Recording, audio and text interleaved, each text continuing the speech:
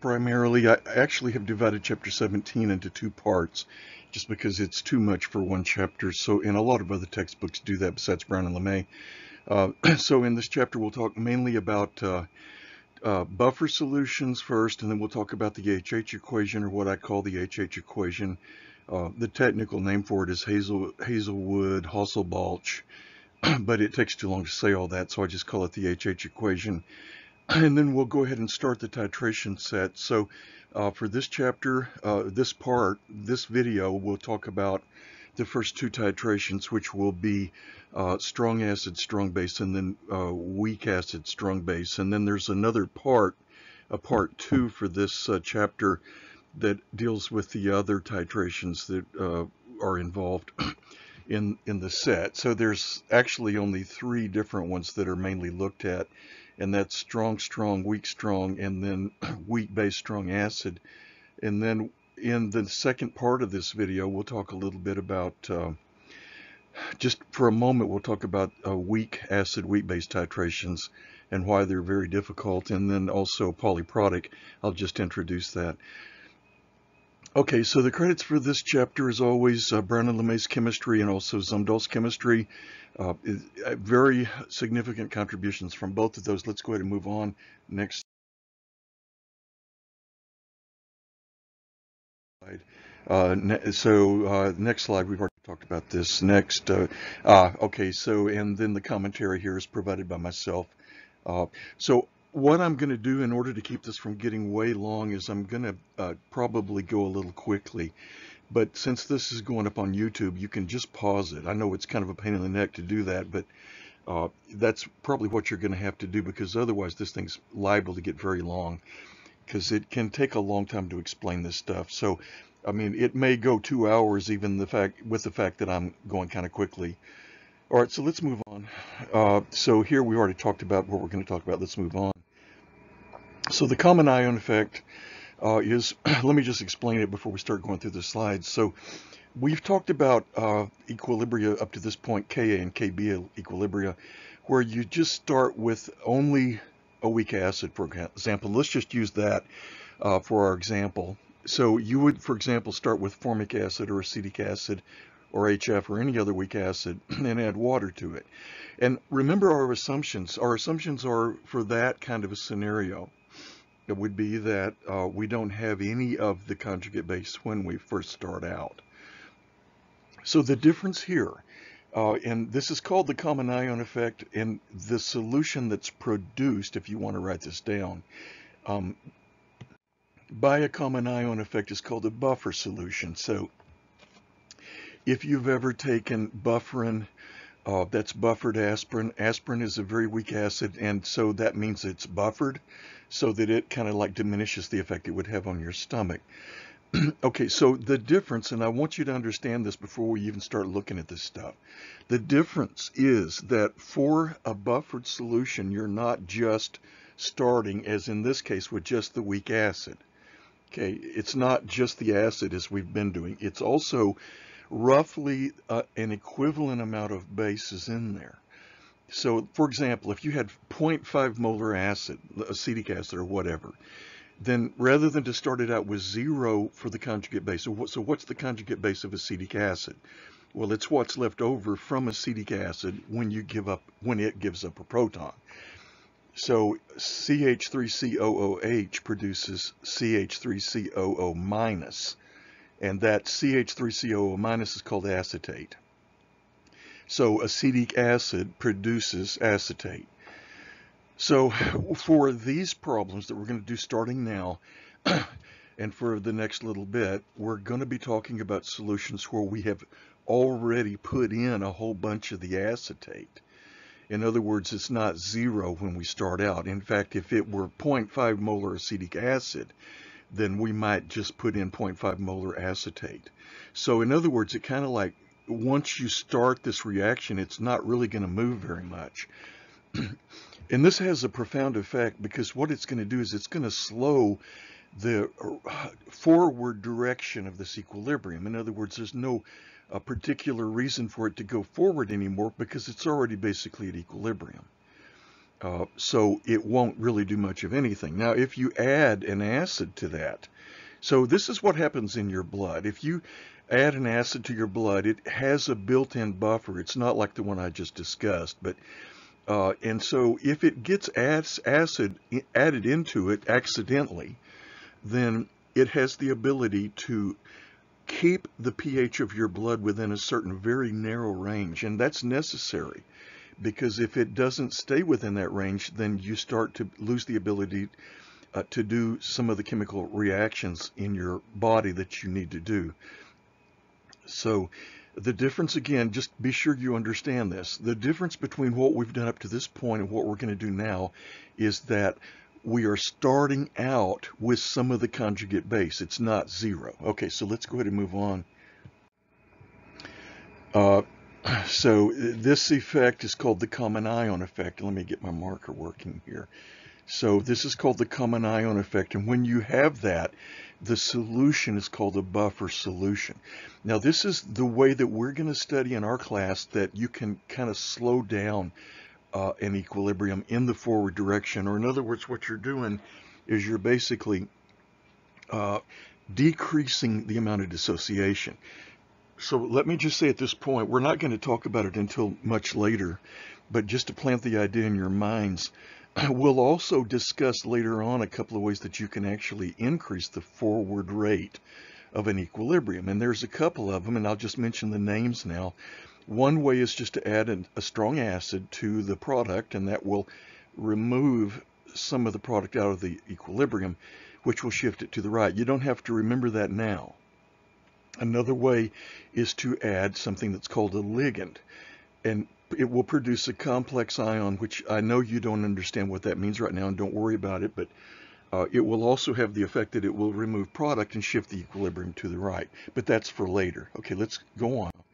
So here's an example where we're starting off with HCN, hydrocyanic acid, and that's a weak acid. Notice this is a Ka expression. So we can set up whatever the Ka value is, which I mean, typically we would be given that or might be given that, or you could look it up possibly in the literature. But it is a Ka expression, just to review, because we're adding a weak acid to water or vice versa. And uh, the weak acid is donating its proton to water to make H3O+. plus. So what we're doing here is we're actually decreasing the rate of that happening. So notice here, over here, we've got the CN minus. This is the conjugate base of HCN. It's what's left of HCN after it donates a proton. So up to this point, for this right here, we've been putting zero. And I've been saying, unless they tell you otherwise, okay, put zero. But here, we're, we're being told otherwise, right? So let's go to the next slide. uh, okay, so this is called the common ion effect. And the uh, statement here is that if you have a solution of the weak acid, which is this, plus its conjugate base, which is actually CN minus, which will then like uh, pair up with Na plus, right? But we don't care really about the Na plus here. It won't be as acidic as it would be if we just started off with the weak acid. Next slide. so here's the important take-home lesson when you have a buffered solution, and when do you have a buffered solution? When you have this common ion effect. And what this means is that in that equilibrium, let me just explain what they mean by common ion effect. In the equilibrium, CH3COOH plus H2O gives H3O plus plus CH3COO minus. Then you have already in that equilibrium CH3COO minus. It's just that there won't be very much of it.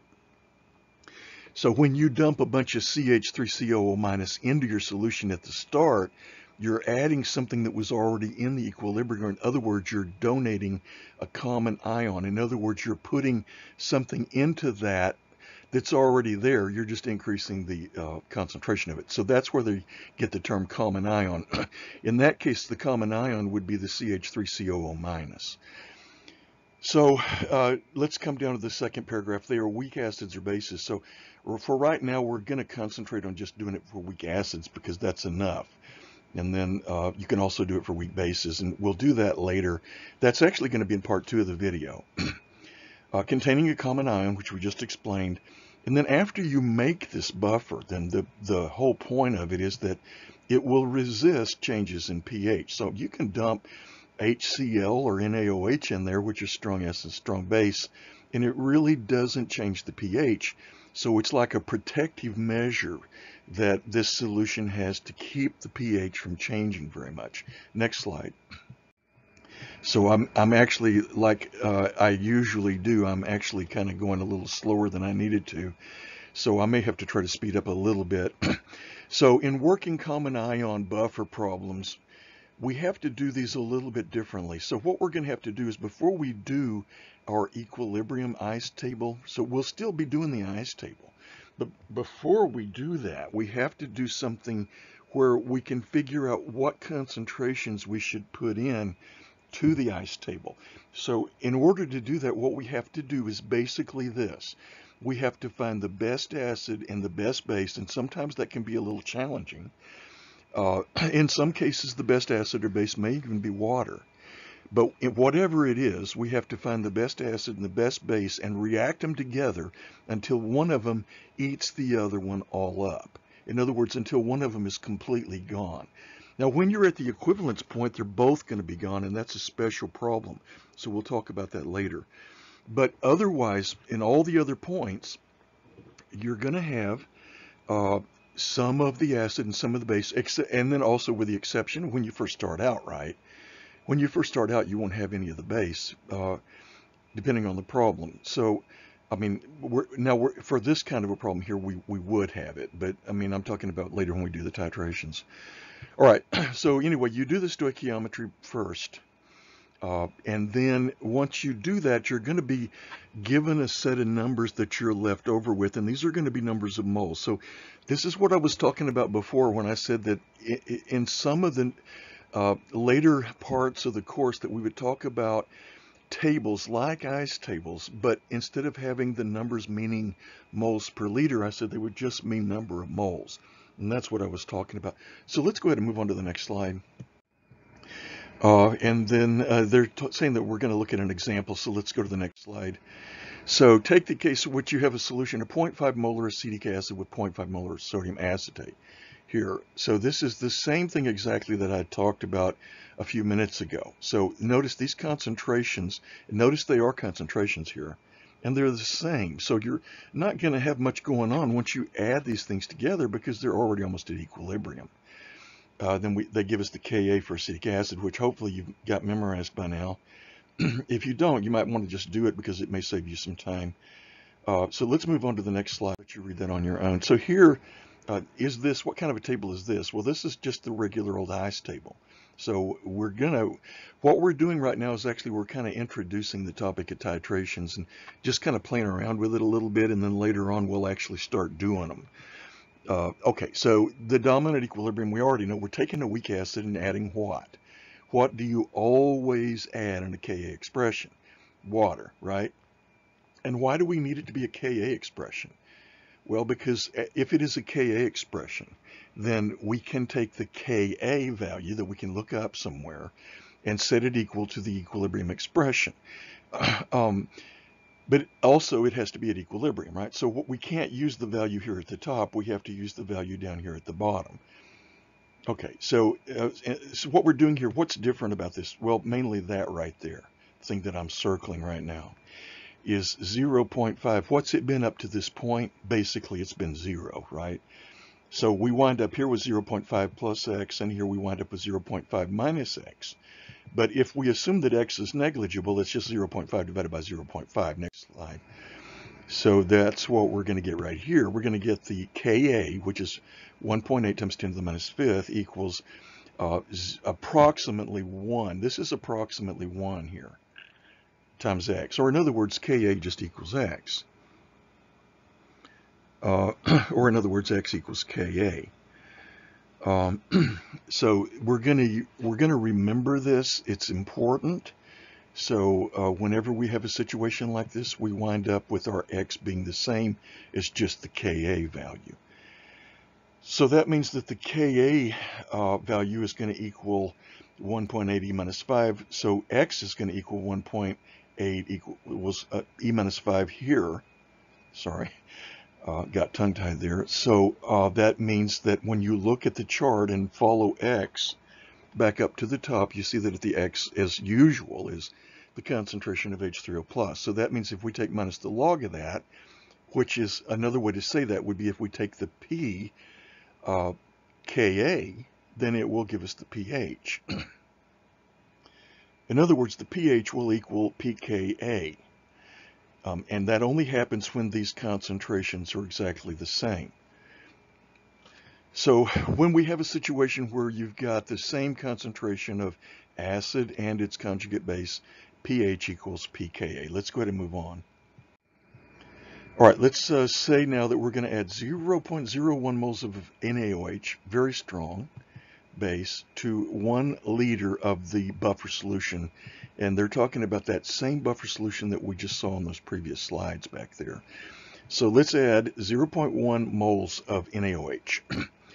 uh, so because this is a very strong base, then it should uh, make the pH go way up. And just to give you a ballpark figure, it should make it go up to about 12, but let's see what happens. So first of all, uh, this is uh, do the stoichiometric calculations, which that really won't mean much to you until you do a few examples. So let's go to the next slide. Uh, and then they're going through the major species. So let's just do this real quickly. Uh, so we're adding sodium hydroxide. So sodium hydroxide, we always have water. And then we already had this CH3COO minus here. Remember, we added that at the very beginning, so that was different. And then, of course, we have our acetic acid because that's what we're dealing with here. Uh, however, which ones of these are going to be major species? So in the past, this hasn't been a major species, right? Because it does, this over here doesn't really dissociate that much if you start off with it because it's weak acid. But in this case, this will be a major species, right? Because you put a whole bunch of it in there. Okay, so that's different. Let's go on to the next slide. Uh, and then I'm going to go ahead and let you look at this one on your own. So you'll want to pause here if you want to read this. Next slide. All right, so these are what we call the stoichiometric calculations.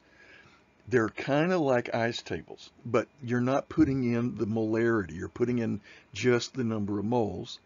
And we want to use our best acid and our best base. And we want to react them together until one of them runs out, which in this case is going to be the OH minus because it's present in a lower quantity than the CH3COOH.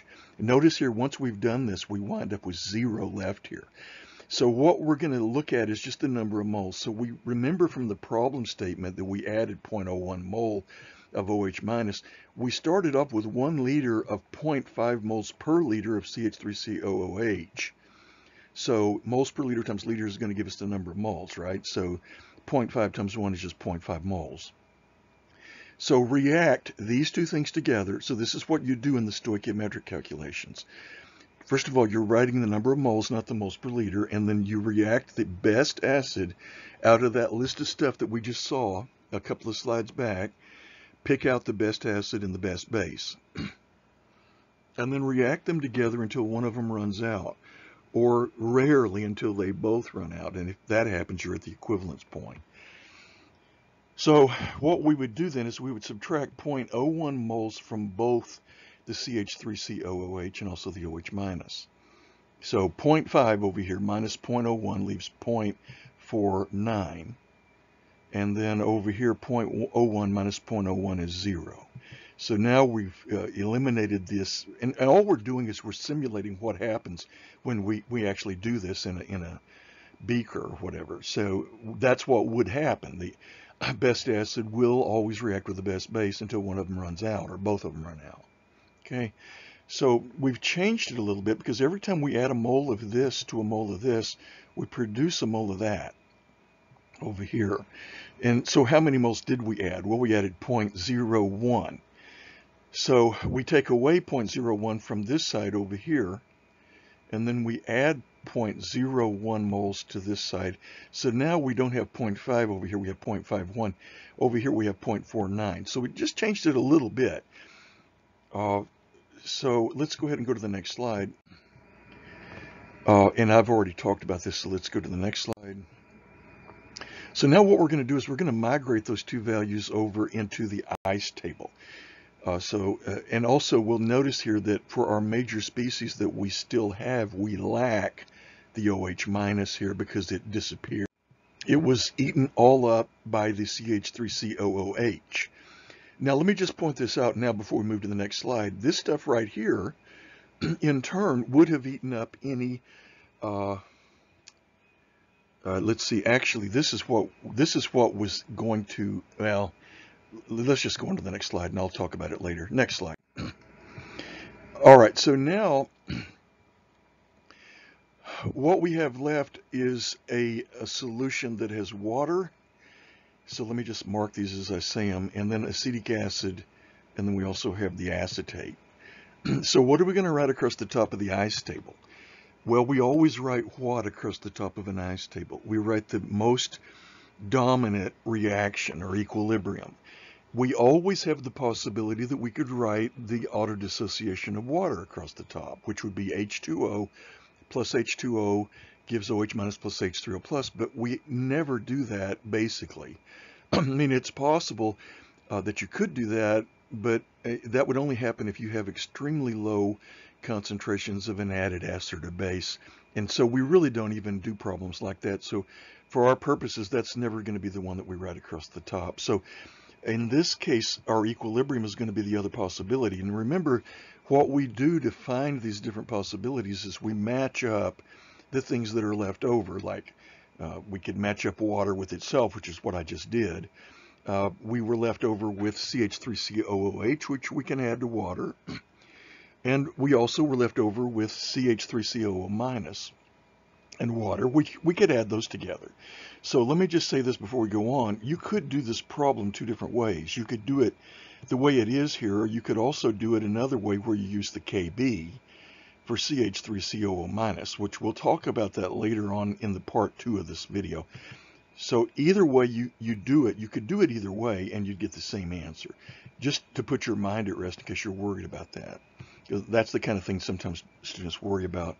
So you could also start off with that over here on the left-hand side and add water to that and use a KB expression. So this wouldn't be Ka of 1.8 E minus 5. For this one down here, it would be KB, which would be, what, 5.56 E minus 10.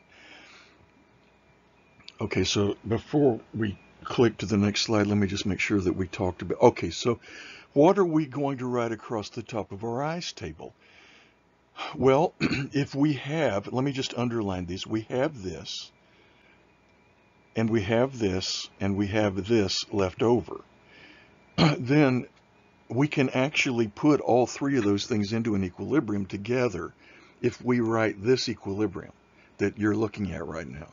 Or you could do it the same way by doing it the way that I wrote it at the bottom. Now I didn't write this one all, all the way out, but this would be plus H2O and I'm not going to write it, but it would be plus H2O, double-headed arrow, and then on the right you'd have CH3COOH plus OH minus, and then you'd have KB equals 5.56 E minus 10. So you can do it that way if you want to. It's perfectly okay, and I don't care which way you do it. But for right now, let's just do it this way. And so this is what we write across the top of our ice table. And so we're going to have this kind of like in the middle where our double-headed arrow is. Uh, and we'll have CH3COOH plus H2O. And then we'll have minus X here and plus X over on the right, right? Just as we've always done. So let's go ahead and move on to the next slide. And so here we go. So this is what you write across the top of the ice table. Now, the reason I keep emphasizing this is because they're not going to tell you in the problems, this is what you should write across the top of your ice table. You have to figure it out. So in this case, it wasn't that difficult because the only other option would have been the H2O plus H2O thing. However, some of these problems, it won't be that easy, and you'll see that as we go through these, the rest of this chapter, and then on into 17b. so then what we do is we put initial change in equilibrium, just as we've done in the past. And remember from a few slides back that we figured out that this is now 0.49 moles, and because it was in one liter, fortuitously, we don't have to do any math here. We can just divide it by 1, which is going to be just 0.49. Same thing over here with the 0.51. so again, but notice this. I'm going to put a star here. That's not zero. And why is it not zero? Because we put some in at the beginning of this whole uh, process. Uh, so uh, this number right here comes from a few slides back where we did our stoichiometric calculations. Now, in this case, because we had one liter of solution, it was easy to do these. It turned out actually, if you'll recall, that the number of moles on the stoichiometric uh, chart when we got to equilibrium turns out to be the same number as the molarity that we're putting in here on the top row for initial, right? but it usually won't be that way. So the way you'll usually have to do it is to take the number of moles from your stoichiometric chart and divide it by whatever the total volume is. And so because we're going to see that, I'll go ahead and move on. So again, here's our minus x on the left-hand side. We don't really care about the water, so we just kind of leave that out. And then we have the middle part here.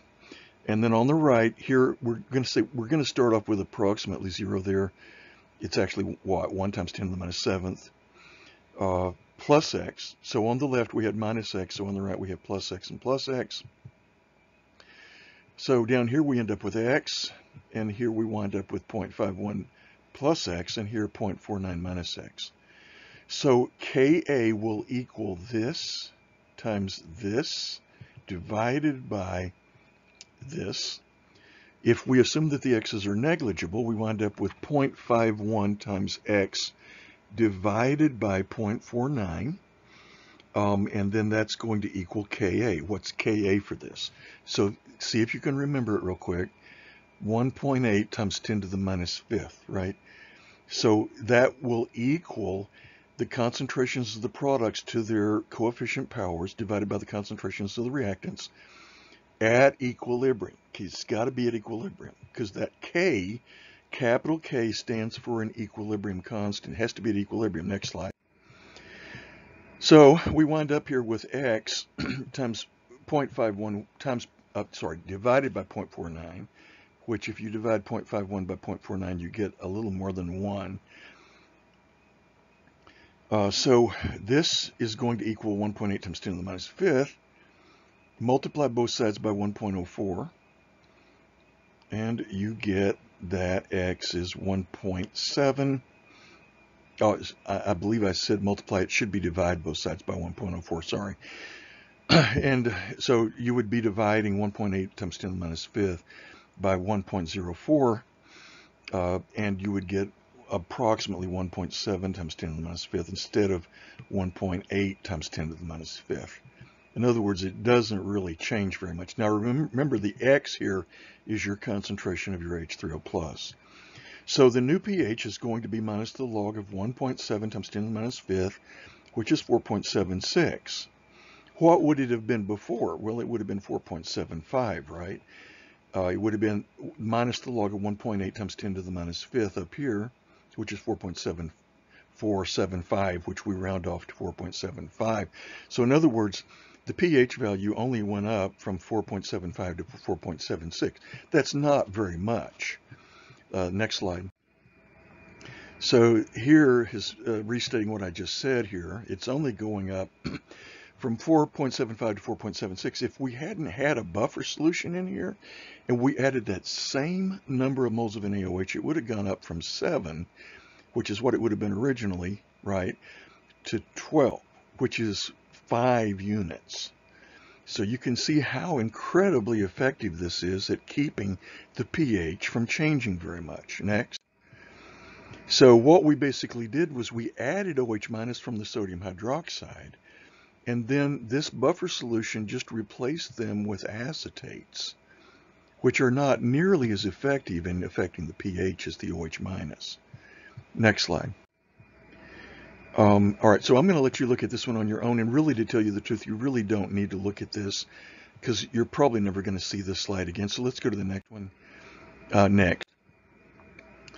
So uh, I'll talk about this for just a moment. So we started off with an original concentration of the acid over the base. And then we added this OH minus here. Whoops, I didn't mean to go right through the middle of it. and we ended up with almost the same ratio. Remember, it went from 1 to 1.04, so it didn't really change that much. And also, we had quite a bit of the acid in the base here, the acetate and the acetic acid. So that's how it works. Next slide. So let's move on to what we're going to call the HH equation. Let me just write this here on this slide so that if you uh, forget what it means, it's actually Henderson-Hasselbalch. I think I spoke, I said that one wrong earlier. It's Henderson-Hasselbalch, but we're going to call it HH anyway, so it doesn't really matter. Next slide. All right, so this kind of goes back to what we were saying on those slides I told you to forget about. Uh, this is the HH equation, and we're going to use this one a ton. And we can use this equation anytime we have a buffer solution, including, and this gets a little confusing, including when we're doing titrations. So what that means is, if you're doing a titration of a weak acid, strong base, or a, later we'll do weak base, strong acid, if you're between the equivalence point and the start point, then you actually have a buffer solution, and you can use this equation. However, we're going to use it right now just for buffer solutions, but just keep it in mind that when you're doing your titrations later, you can use this, and I'll mention that later. So this is the equation. Let me just kind of tell you what it says and then tell you what the parts are. The pH of your solution can be figured out if you know what the Ka value is for your weak acid, or later it would be your Kb for your weak base. But then you have to convert that back to, for, for a weak base problem, I'm kind of getting ahead a little bit, but we'll do that in part two. But if you had a weak base problem, you would have to convert the Kb to the Ka uh, then it because it has to actually be in this exact form. And then you take the base 10 log of the concentration of the base over the acid. And I re recommend that you remember what I just said. It's the log of the base concentration over the acid, the base over the acid, the base over the acid, because people on exams get under time constraints and they forget and they put the acid over the base every time. So unless you just specifically make it a point to remember this, then you'll forget it. Or you'll, I mean, the best case scenario will be you have to look it up again. so just remember the pH of your solution equals pKa plus the log of the base over the acid, where the base concentration, in the case that we did for the example a few slides back, was what? 0.51, I think, 0.51 molar. So that would have gone on the top, and then the 0.49 here would have gone on the bottom which is the acetic acid. Uh, the pKa is just you take the Ka value and then take minus the log of it. Remember P is our shorthand notation for minus the base 10 log. So for example, if you have uh, 1.8 times 10 to the minus fifth for your Ka for acetic acid, then if you'll type that into your calculator, take the log of it, the base 10 log of it, and then take the negative of that, you get about 4.75. So to get the pH of your solution, you just add 4.75 plus the log of whatever your concentration of your base over your acid is. Next slide. So here's an example. Here our base is here and its concentration is 0.85. So that would go on top and the 0.45 is our acid. So that goes on the bottom. So we take the, the well, okay, we take the base 10 log of the ratio of 0.85 over 0.45, which that's just actually a little bit less than 2, right? so anyway, take the base 10 log of that and then add that to uh, pKa. So in this case, it's acetic acid, so its Ka value, which hopefully you've memorized by now, is 1.8 times 10 to the minus fifth. So the pKa is going to be 4.75 approximately. It's actually 4.7475 but you're perfectly welcome just to round it off to 4.75. So we just answered this question. All we have to do is just do the math of what I just said. Next slide. And now it's starting to mess up on me. So you wind up with 4.745. um, and then when you take the base 10 log of the 0.85 over 0.45, you get 0.276. Okay, so this is this part is the pKa for acetic acid. So uh, take minus the base 10 log of 1.80 minus 5, uh, which this right here is going to round off to 4.75. Uh, so you, will see it a couple of different ways because uh, this textbook that we're using, Brown and LeMay, um, and I think that's what we used here for this problem, uh, they use, I think, a different, slightly different value for the Ka for acetic acid. But anyway, it, it doesn't really matter. So whatever value you use, you just uh, take minus the base 10 log of your Ka, and then take the ratio of your base to your acid concentrations, take the base 10 log of that, and then you add that. You add there, and that's not a minus sign. So you get 4.745 or whatever, 4.75 plus 0.276, and the 0.276 is what you got over here when you did this calculation, and you get 5.02. All right, so that's uh, the first example we've done of doing an HH equation. We have several examples in the work problems of doing this. All right, let's go to the next slide. Uh, so I'll let you look at this slide on your own, but it's basically showing here in the middle, if you start off with roughly a one-to-one -one ratio of your base to your acid, then it doesn't matter whether you go this way and add a base like NaOH or whether you go this way and add a strong acid like, for example, HCl. Either way you do it, you don't change the pH very much because you don't change this ratio very much, or in the case of adding an acid, you don't change that ratio right there very much. Do you see that? So that's the secret of buffers, is it keeps the ratio of the acid to the, or the base to the acid almost constant. Next slide. So buffers contain relatively large concentrations of a weak acid and its corresponding conjugate base. Uh, if we add H+, plus, in other words, if we add like sulfuric acid or, or hydrochloric acid, it will react to completion here. In other words, it will be eliminated. And so the pH change here would be minimal. And the same thing here if we add the OH minus, which we just saw that. Next slide. So again, we just said this, the pH in the buffered solution is determined by the ratio of the base to the acid.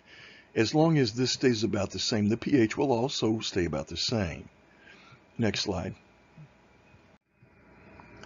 The buffering capacity refers to how much uh, acid or base you can add without making the pH change significantly, and they don't really define what they mean by that. But in other words, it, it would have to be something where it's too much for your system to handle. So I guess it probably depends on the system. Uh, and it's determined by the magnitudes of the concentrations. In other words, what they're saying here is the higher the concentration of the weak acid conjugate base, then the more buffering capacity it's going to have. I don't think I've ever seen a question on this with uh, uh, any of the exams, but it's always possible that it could show up on a final as a multiple choice. Next. So optimal buffering is going to occur when the concentration of the acid and the conjugate base are about the same. We've already said that. Next. Uh, and then there's a little rule. If you're going to choose a buffer, a buffer solution, you want the pKa of the weak acid. The pKa of the weak acid is just, you find the weak acids, find a list of them, look at the values of their Ka. They, they are listed in various places in the literature and in your textbook. and then do the pKas for them. You can just tell by looking at the exponents of the Ks about what the pKa would be. Uh, so like if you're trying to want, get one that uh, would be at pH 5, then you would want something about uh, 10 to the minus fifth, right? Because then that would give you minus a minus 5, which is a plus 5. And there uh, was a problem like this in the work problems, but I may have actually pulled it out for, for this class. Next slide. okay, now what we'll talk about next is not actually a titration set. It's just to kind of get us introduced to it. So let's go to the next slide. So a titration curve is when we plot the pH. And on the y-axis, we're going to put the pH with 7 right in the middle. And then on the x-axis, we'll be doing the progress of the reaction, if you want to look at it that way. Or in other words, how much of the uh, base that we're adding. For example, if we're titrating acetic acid with NaOH, then across the x-axis, we'll just add, uh, you know, this is how many milliliters of NaOH we added. So it starts at zero and goes. The equivalence point would be when you have added exactly enough NaOH to neutralize the acetic acid that you started with or whatever acid. Uh, so again, this is going to be, let me just give a little sketch up here at the top right. So here's a graph and uh, for example, if you're starting with a weak acid and then you're adding a base, you're going to be starting like if 7 is like right here. Uh, so this is going to be the pH over on the y-axis and then your progress of reaction will be where you'll be starting I mean, the pH originally will be about here. It won't be real low down here because this is a weak acid, not a strong acid, right? And then it will come up like this, and then it will end up like that. And somewhere where this curve stops increasing in slope and starts decreasing, like maybe right there, is your equivalence point. So this is a titration curve, this thing that I just drew, and your pH is going to be on the left-hand side on your y-axis. Okay, so we'll see some examples of that, so let's go on. So here's another picture. I guess I could have saved myself the trouble. Uh, so here we're titrating a strong acid, nitric acid, with a strong base. So uh, if we do that, when we get to the equivalence point, we'll actually be at pH 7 every time. And that's one of the rules we're going to learn when we get to the first titration set. Uh, so um, the one that I drew on the previous slide was not like this. It was a weak acid strong base. So the pH at the equivalence point will not be 7 for the one that I drew on the previous slide. But whenever you have any of the weak, sorry, any of the strong bases uh, titrated with any of the strong acids, uh, your equivalence point will always come at 7. And you'll see that's what's happening here. So here we started off just with a strong acid. Notice the pH was very low because this is a strong acid. Okay, so the pH is going to be like 1, depending on how concentrated it is, or 2 or whatever. It depends on the concentration. Remember, we said it could even be negative, right? But we're not going to worry about that right now. Uh, and then as you start to add base, like you'll notice here, when you added 50 milliliters here, then uh, the pH came up a little bit. And then when you added 100 milliliters of this base, and let's look back up here, we have 0.1 molar base.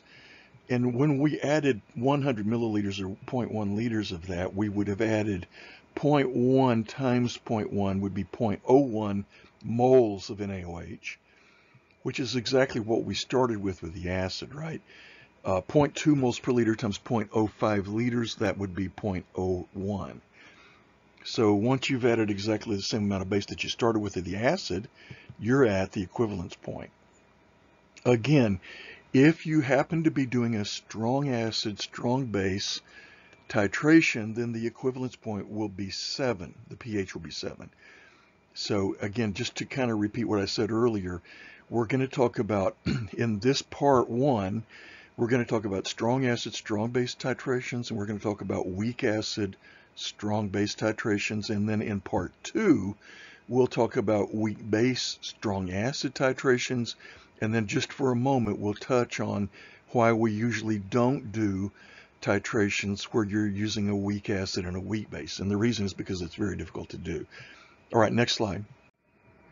And then here we have another one where we're starting off here with just the base. So if it's a pure base like H, uh, sorry, NaOH, uh, your pH is going to be very high at the beginning and then it's going to drop. But again, notice if it's a strong acid, strong base titration, doesn't matter which one you're titrating with the other one, your equivalence point will still be at 7. Next slide. Okay, so weak acid, strong base titrations, which we'll also do in part 1, we have to do these kind of like what we did before when we were talking about buffers. We have to use a stoichiometry problem first and take the best acid and react it with the best base until one of them is all gone. And then figure out at equilibrium, uh, or uh, not at equilibrium, figure out after you do that, figure out how many moles of each you have left. And one of them is going to be zero, obviously. Uh, and then you'll want to figure out how many moles you have left of the weak acid and its conjugate base. Uh, and then uh, most of the time you'll have to then divide that by your total volume to get the moles per liter. or molarity, and then you'll transfer that or migrate that into your ice table at the top of the ice table. And that's what they mean when they say an equilibrium problem. So don't let that confuse you. When they say an equilibrium problem, they just mean an ice table where you're figuring out what the equilibrium concentrations are going to be. Next. So we're not going to go through these problems that we have coming up in the next few slides completely. We're just going to use these as kind of like a way to show you how to do various things. So for example, here, if we have 0.1 moles of HCN and we're given the Ka value, and we have added 0.04 moles of NaOH, what's the first thing we're going to do here? Okay, well, I mean, just for your information, when you're doing these on a test, you probably won't want to waste a lot of time going through all of these steps. You need to know how to do them.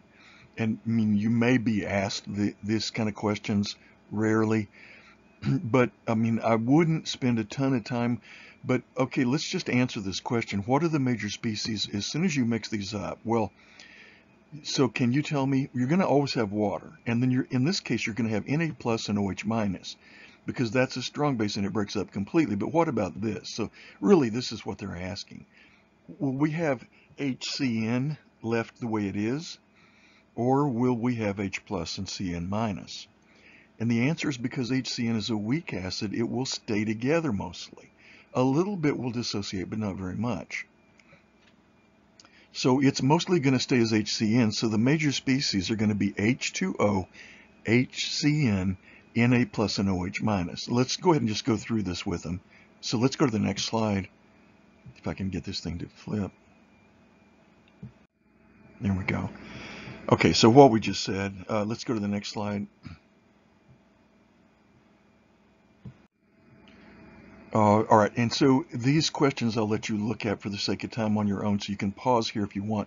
Ah, okay, but before I flip, what are the possibilities for the dominant reaction? And what they're going to do here is what they always do, and they're they're like really thorough about this and that's good because it shows you what you should do ideally. But again, when you're doing these on an exam, you're probably not going to go through every one of these. You're probably just going to say which is the best base and which is the best acid. But let's just play along with it. So our major species, just from memory, because I can't back up, are going to be Na plus, OH minus, H2O, and HCN. um, so what they'll do for this question they're asking here is they'll just match up all of those. Like, for example, what about if you have H2O plus H2O? What if you have H2O plus uh, HCN? Well, I mean, you could have that, but the only way that would happen would be, you know, under un unusual circumstances. What about if you have OH minus and HCN?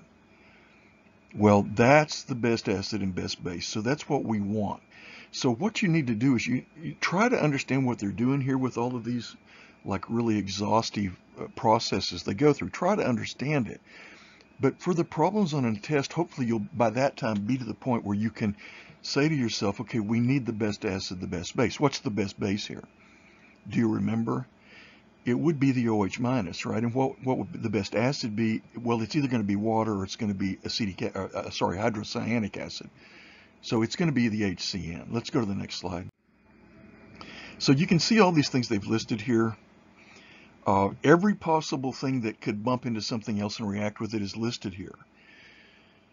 So you'll notice here they've even listed Na plus H2O. And they've listed Na plus OH, which even though we just said that if you put NaOH in water, it's going to go back and break up completely into Na plus and OH minus. So really, these last two things here are not equilibrium. They're going to go all the way to the left. The Na plus and the H2O here are not going to react.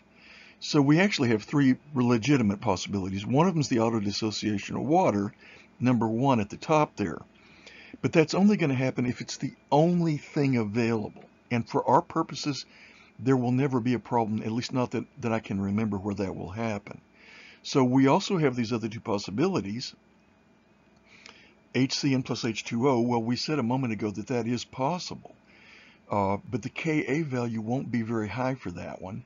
So how, assuming that it's not going to be H2O plus H2O, how do we choose which of these two is going to be the one that's going to be the dominant reaction? And notice that's what they're calling it here.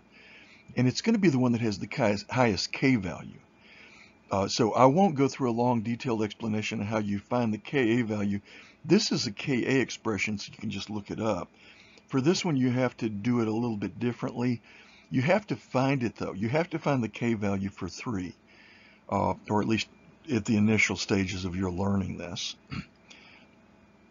okay, so what's, what's going to happen? Well, they're going to say, okay, let's just forget about 4 and 5 because they're not really equilibria. And let's forget about number 1 because it's got such a tiny constant. It's like 10 to the minus 14th. So forget that one. So we've got two things left here out of all these possibilities we just lifted, listed. And so that's why I really don't want you to go through this on the test because unless you just want to, because it takes too long. So can you just look at these two things right here? Just look at number two here that I'm underlining and then look at number three. Which one of those do you think is going to go more to the right? If you add water to a weak acid or if you add a strong base to a weak acid? And the answer is going to be this one right here is the one that's got the best acid and the best base. So look, you, you can go through all of this mixing and matching if you want to, but I'm not going to do it anymore after this particular example. So when we get to these slides where they list all this stuff, I'm just going to go on. Uh, but so what you have to learn to do is to recognize which one of these gives you your best acid and your best base. So you tell me which one it's going to be. Let's go on to the next slide. Uh, so here they're just, let's, you can pause this and read this. I'm going to go to the next slide. Uh, and here they are getting to the point where they're listing the K values. And again, this one's going to be not the one you choose ever. As far as I remember, this one will never be the one you choose. They're just trying to make sure you remember it's there. Uh, for the HCN, the K value is 10 to the minus 10th here. And then for the HCN, it's Ka over Kw, which I showed you how to figure this out just in case you were wondering, but you probably won't have to do that on a test. Let's just go to the next slide. Uh, and it turns out that that one that I just underlined on that previous slide, the K is huge. I mean, it's it's it's actually a positive value, right? Whereas the other ones were negative. So, I mean, this one is much, much, much, much, much greater than the other two.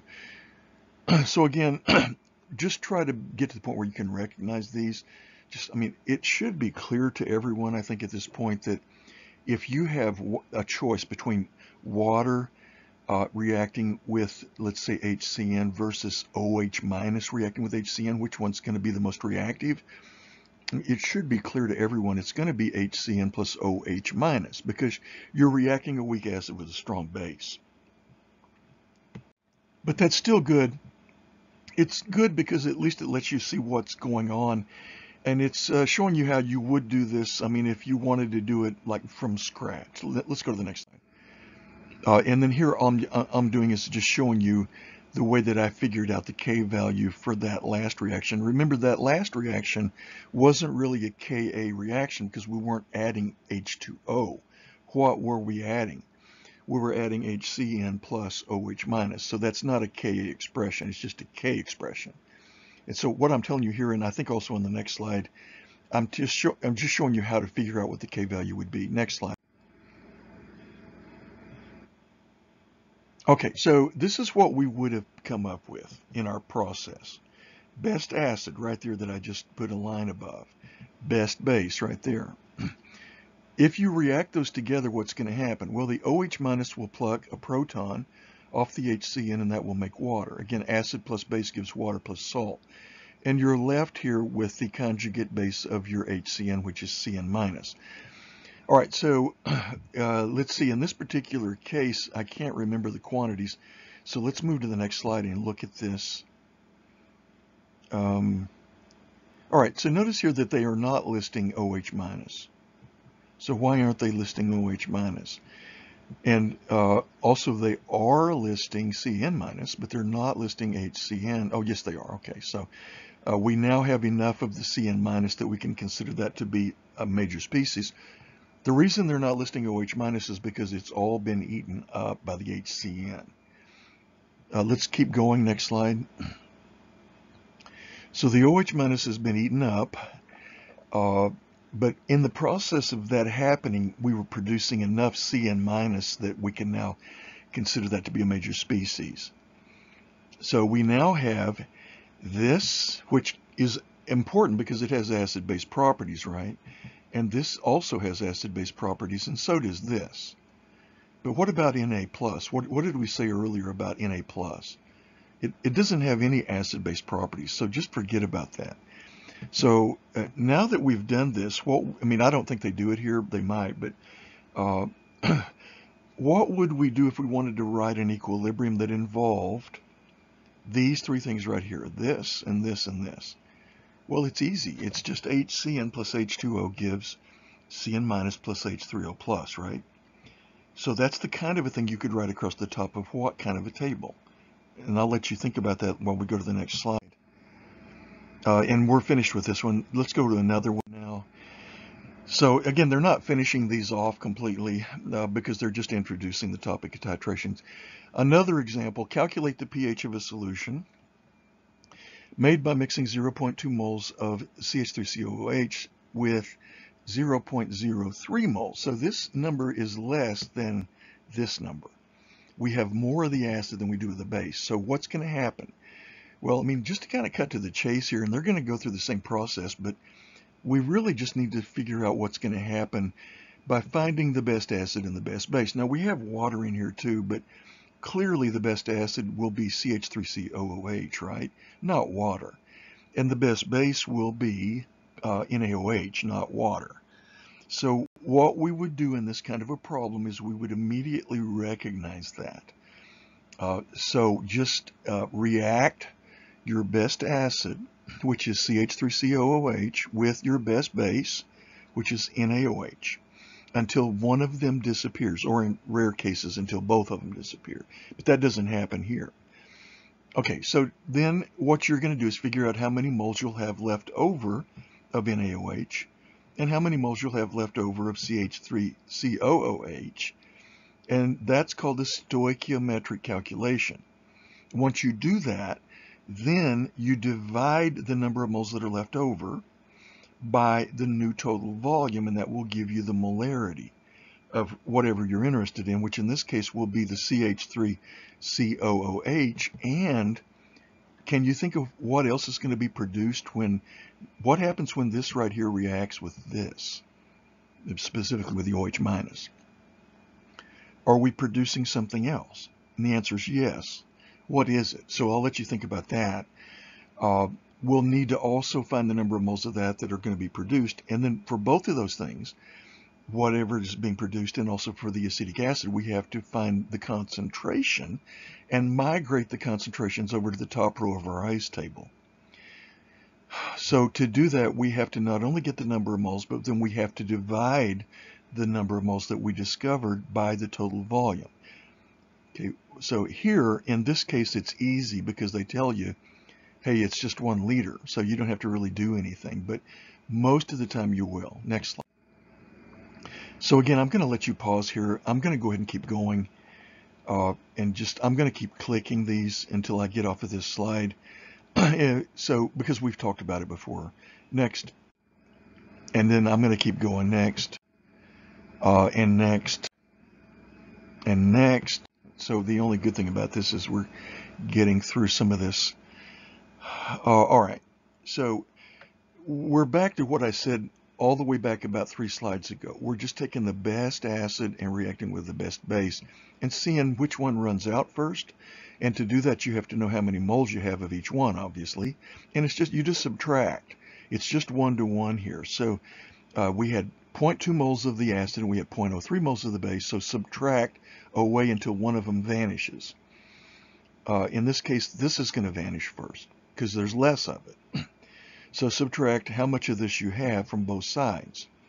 So 0.03 minus 0.03 is 0. So this is out of play now. It's off the table.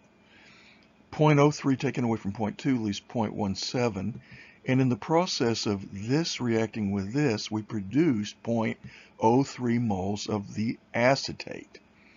So now what do we have left over? Well, the acetate that we just produced and the acid that's left over after it reacted with the OH minus and ate it all up. Now for each one of these two values here and here, we now have to divide that by the total volume and then move those values of molarity over to the top row of our ice table, which I don't think they're going to do that here, but we'll see. Next. Next. Uh, pause it here if you want. Next. And okay, yeah, so they are doing that. So this is going to be 0.17 because when we divided 0.17 moles by one liter, we got 0.17. Same thing for the 0.03 over here. Uh, if the water, again, we don't care about it. And then for the H3O plus, which is really the thing that we care about maybe most, uh, we assume we're starting at zero, right? So this is what I was going to say a moment ago, uh, actually several slides back, is we're going to end up with acetic acid and acetate over here, and then of course you always have water. And so I asked the question a while back, what kind of an equilibrium could you write that would include those? And here it is. So just the Ka expression for CH3COH. Now, a lot of this won't come until you get some practice on this. It's going to take a while to get used to this. But notice here, all three of these things were things that were left over as major species uh, before when we talked about this. And they're all right. It's just like, I mean, wow, look at that. They all are in this equilibrium. So clearly this is the equilibrium we want. So write this across the top of the table. And again, you can also, if you want, write it in the reverse direction and you can put CH3COO over here and then put this one over here and you'll get this, and of course this is going to become OH minus here, but you'll get the same answer as long as you remember to change Ka to Kb. However, for your purposes for right now, I would stick with the way it's written here. Uh, so that's just for the intellectually minded people that tend to ask these kinds of questions. And that's good that you do. Uh, anyway, so that's the answer to the question that you may have asked yourself if you did ask yourself that question. So anyway, so these values in this top row are coming from the previous slide or whatever. And then, of course, we just have our usual here on the change row, which is just minus x. And then on the right-hand side of the double-headed arrow, you have plus x and plus x. And since all of these numbers here in front of these different things are 1, then you don't have to change the numbers. It's just minus x plus x and plus x. So 0 plus x is x. 0.03 plus x is 0.03 plus x, but we're going to neglect that. So it's just going to be 0.03. 0.17 minus x is just going to be 0.17. And our Ka is going to equal products of reactants, which means it's going to equal 0.03 times x over 0.17 and that will equal Ka, which in this case is 1.8 e minus 5. Next slide. And so here are the calcs, which is just exactly what I just said here, um, except we're, we're going to get rid of that, right? We're going to get rid of that. So we're going to wind up with 0.03 divided by 0.17, uh, and then that's multiplied times x, and that equals the Ka here. Solve for x, and you get or should get 1.02 times 10 to the minus fourth, I recommend very strongly that you do this on your own make sure you get the right answer. Look back, which I can't do, but look back at the chart if you can do it and see what does the X stand for. And you'll see that it uh, actually stands for two different things. But what we really care about here is the one that it stands for for the H3O plus. And the reason is because we want to find the pH. So the let me just say this. Usually what we're trying to do in these problems is we're trying to find the pH. So what we'll usually care about is the H3O plus concentration or the OH minus concentration. So we find that X is 1.02 times 10 to the minus 4, so take minus the log of that, and that will give you your pH. Let's go to the next slide. Just a little over an hour here. And we haven't actually even started the titrations, but hopefully those won't be too bad. Okay, so here's a picture of what we just did, and this is actually what I sketched at the very beginning of this. So you notice here, this is a weak acid, so the pH initially won't be that low. Here, it's about 3 when we start off, as opposed to maybe down here if it were a strong acid. So that means the equivalence point is going to be shifted up above 7. So 7 is right here, so notice that it's been shifted up a little bit because we didn't start low down like we would have if it had been a strong acid. Do you see that? So typically for a weak acid strong base titration, your equivalence point will be above 7, but we won't be able to guess what it will be. We'll have to actually just figure that out. All right, so before we, and then once you get past the equivalence point, now that means you've used up all your acid. So now all you have left from this point on over here is just OH minus. So it's pretty easy to find the pH of that. You just find how, so just subtract the number of moles you added of the OH minus minus the number of moles you started with your acid. And so in this case, what I just where I just drew that that regime, you're only going to have OH minus. So you just need to find out how much of the OH minus you have and divide it by the total volume. Uh, and that will give you the concentration of OH minus. And if you take minus the log of that, you'll have the POH. Just subtract that from 14.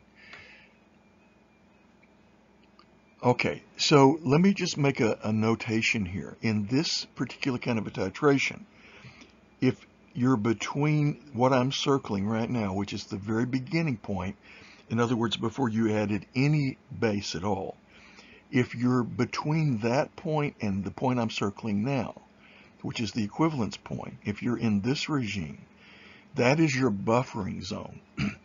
you can use the HH equation there. In other words, find the concentration of the base, find the concentration of the acid, divide them, take the log of that, and then add that to pKa for your acid, and you'll have the pH. You don't have to do it that way. You can also do it in the method that we saw just recently, where you just do your stoichiometric calculations as we did them before. So I won't say any more about that.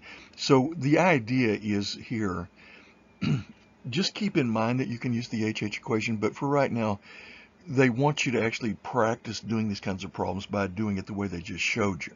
And what I mean by that is use your stoichiometric calcs, find the concentrations of the acid and base that are left over, and then do your, equi your equilibrium calcs.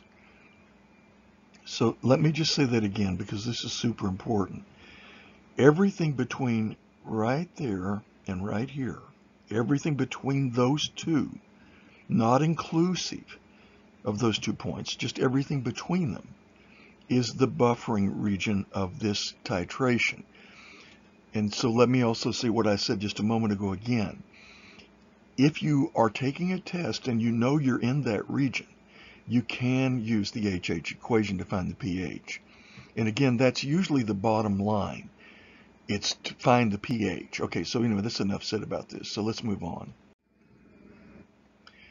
All right, so sample titration sets. Let's go on next. All right, so first of all, we're going to do strong acid, strong base, and there's a couple of shortcuts here. Basically, what we're going to do for this is we're going to remember, first of all, do you remember a rule that we talked about earlier? What is the pH at the equivalence point if it's a strong acid, strong base titration? and only if.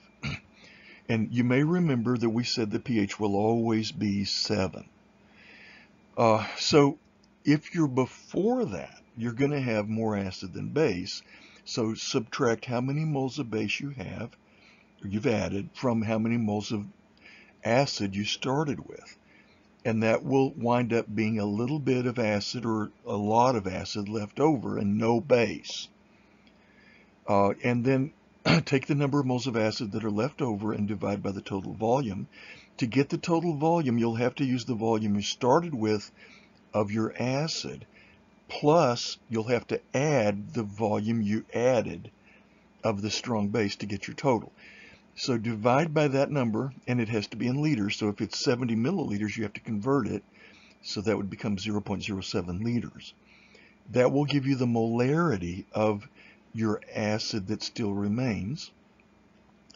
And then you want minus the base 10 log of that, and that will give you the pH. Now, if you're at the equivalence point, then it's just pH is 7.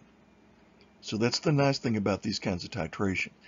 And then if you're past the equivalence point, you do the same thing we just said, only this time you're going to have more base than acid. So you're going to wind up subtracting how many moles of acid you have from how many moles of base you have and so you'll wind up with a certain number of OH minus moles.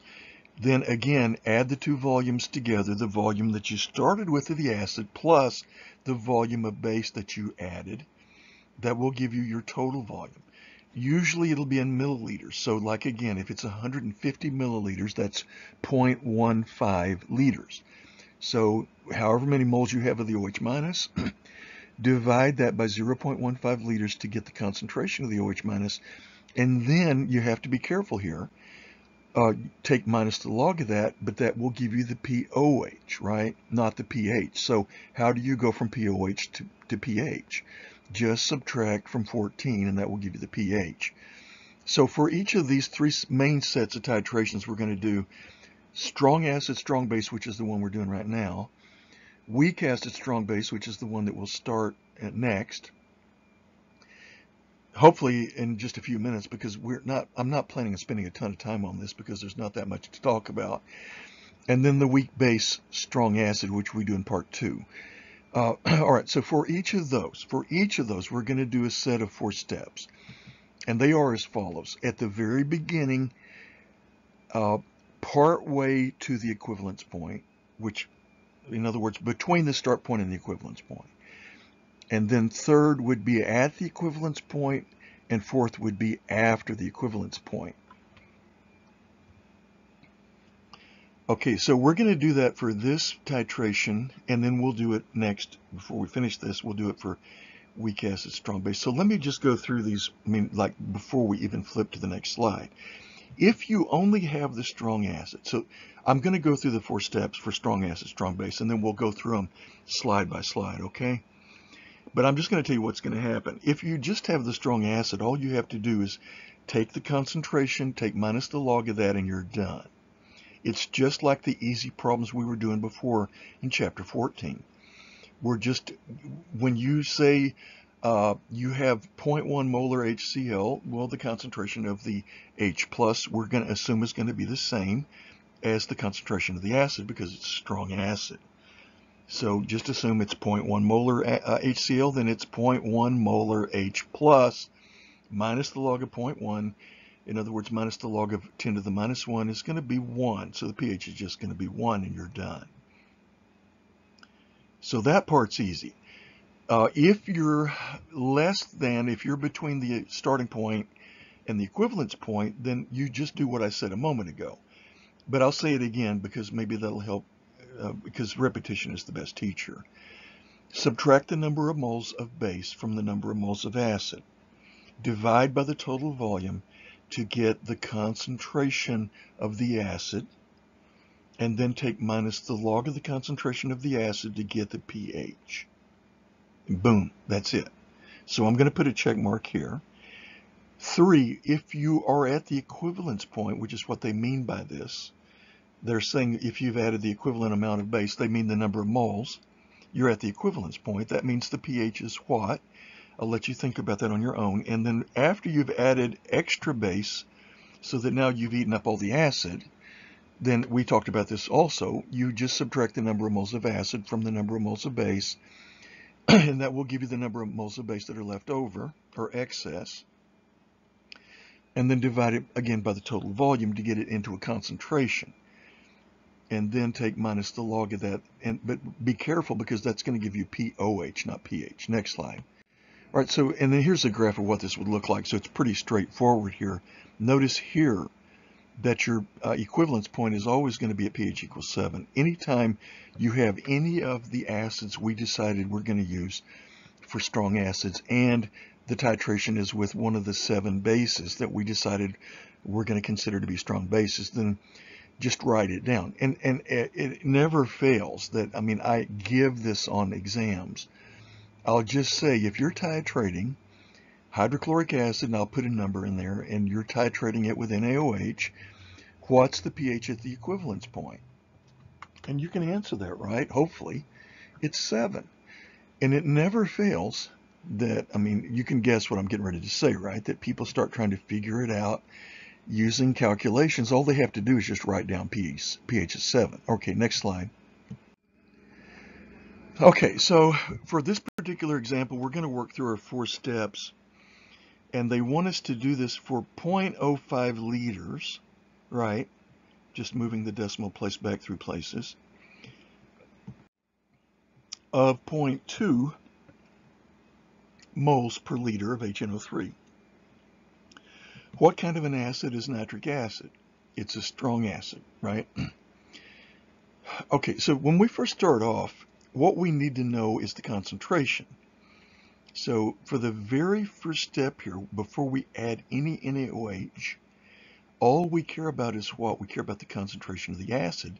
And we're going to assume the concentration of H plus will be the same because we're going to assume that this HNO3 will completely dissociate.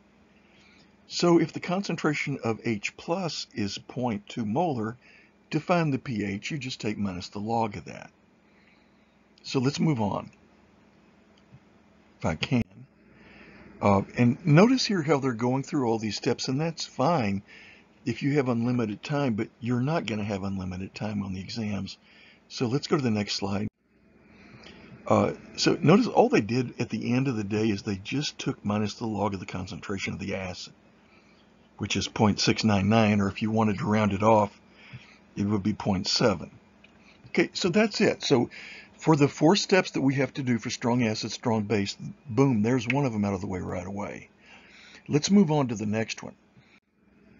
Okay, now we've added some of the base. We've added 0.01 liters, and I recommend that you learn how to do this in your head quickly uh, because it'll it'll make it a lot easier. 0.01 liters times 0.1 moles per liter gives you 0.01 moles. Which if you'll think back, when we started off with our acid, we had 0.05 times 0.2, which is going to be 0.1 moles of the acid. So 0.1 moles of acid, we add 0.01 moles of the base. What we need, and, and again, they're going through all of this stuff here, which you can look over if you want to, uh, but we're, we're not going to do that. We're just going to go ahead and cut to the chase and we're going to figure out how many moles of the acid are still hanging around. To do that, we need to do the stoichiometric calculations. So let's go to the next slide, and uh, if I can get it change. So we're starting off with 0.01 moles of the H plus and only 0.001 moles of the OH minus here. so how did they get that? Well, 0.1 molar for the NaOH times 0.01 liters or 10 milliliters uh, is 0.001 moles of the OH minus. minus, and I think I said that wrong, so I apologize for that. And over here, 0.2 times 0.05, and I may have said this one wrong too, it's supposed to be 0.01, which somehow, for some reason, that Okay, anyway, I guess that's right. Anyway, let's not waste time on it. Okay, so which one of these is going to run out first? We've got 0.01 moles of the H plus. We got 0.001 moles of the OH minus. So clearly we have more of the acid. so subtract 0.001 moles from both of these, from this one and from this one. And for this one, it's just going to be zero, right? We're going to wipe it out. So we end up with zero. And then for this one, we wind up with 0.01 minus 0.001, which leaves us with 0.009 moles of this. Okay, so this is what we needed to know, but we can't take minus the log of the number of moles to get the pH, which is what we're trying to do. We need the what? What do we need? Not the number of moles, but what? The, the concentration of the H plus or H3O plus, right? So to get that, we have to divide the number of moles, which is 0.009, by the total volume. So let's do this together. What's the total volume? Well, we added 0.05 liters of H plus originally, and to that we titrated in 0.01 liters of the base. So we want to add these two numbers together, and when we do that, we get 0.05 plus 0.01 this is really hard to write with. I wish I could get to the point where I could actually write with this thing. Uh, anyway, it's 0.06 liters, and it's also written down here where you can see it better. So uh, what I just wrote right here is reproduced down here on this line. anyway, so that's how you do it. Divide the number of moles by the new total volume, which is 0.06 liters. So when you do that, when you divide the 0.009 moles by the 0.06 liters, you get 0.15 molar. And now we have what we need to find the pH. So remember that. When you're finding the pH, you need the concentration of the H plus or H3O plus. Anyway, so we now want to take minus the log of that number right there.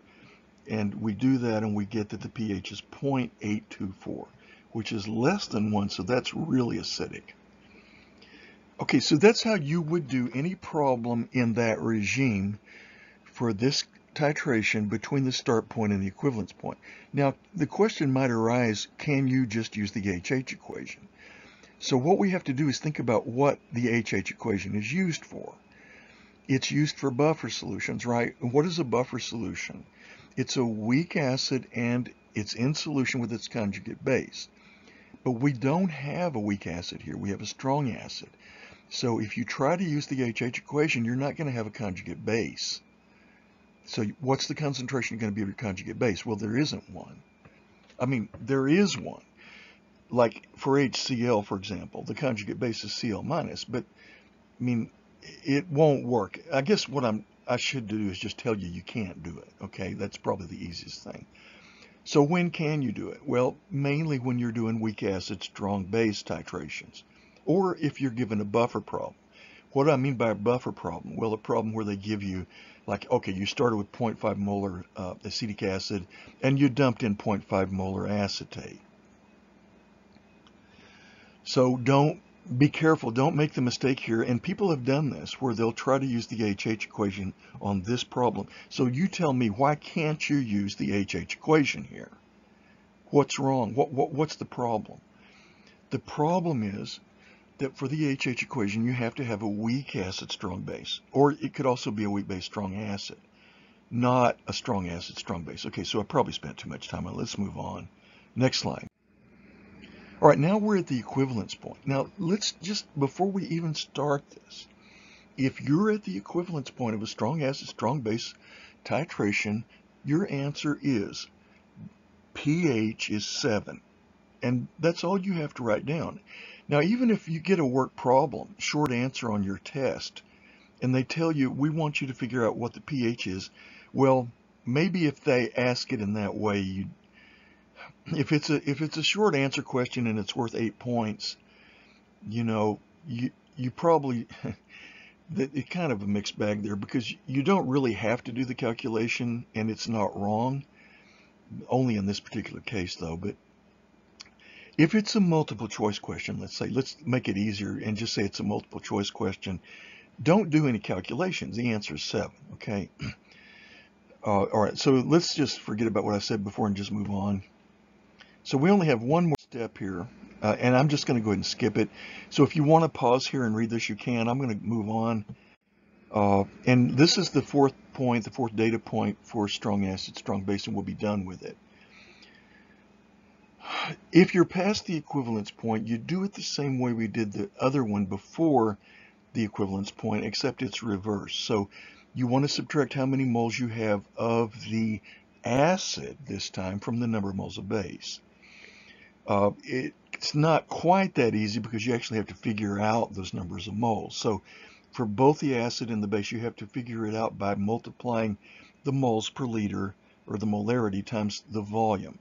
In other words, you're multiplying moles per liter times liters and you're getting moles. So for example, here for the H plus, uh, which is what we, this is the same as it was when we started. It's It hasn't changed. So it's still 0.2 moles per liter times 0.05 liters, and that's still 0.01 moles. But for the base now, this has changed because now they're saying we've now added 150 milliliters or 0.15 liters. So now, and the concentration hasn't changed, but how much we've added here has changed. So now we're multiplying 0.1 times 0.15, and we're getting 0.015 moles of the base. And then comparing that with the number of moles of the acid, we see that we have more of the base. So when we add the best acid and best base together to get rid of one of them, this time it's going to be the acid that runs out first. So it's gone. It's eaten all up, and we're left with 0.015 minus 0.01 moles of the base, which is 0.005 moles of the base is left over. But remember, we can't use that to get the pH, which is what we're after, right? What do we have to divide that 0.005 by to get to the pH? Next slide. Um, we have to divide it, and that's unfortunate that I changed slides, but uh, if I hadn't switched to this slide, I would show you how to find the total volume. So if you're watching this on YouTube, you may want to go back uh, and just see if you can figure out what the total volume was. When you add the volume of the acid to the volume of the base, I think it was 0.5, uh, no, sorry, 0.05 liters maybe of the acid and 0.15 liters of the base. Uh, anyway, you might want to just double check to make sure you know how to do that. But your total volume, when you add the volume of the acid to the volume of the base, you should get 0.2 liters. And then, so you would then divide the number of moles of the base that you had left over, which is 0.005, by the new total volume, which is 0.2. And you should get, when you do that division, 0.025 molar. Now, because this is a concentration, when we take minus the log of that concentration, in this case it's concentration of OH minus, that will give us the POH, not the pH. So again, you have to be careful. So the POH is 1.6. To get the pH, we subtract the 1.6 from 14, and then we get like 12.4, right? So that will give us the pH, and they almost always want that for the answer. So the pH here uh, is 12.4, and then this last zero gets put in because of sig figs. All right, so that is it for this titration. We're at almost an hour and a half.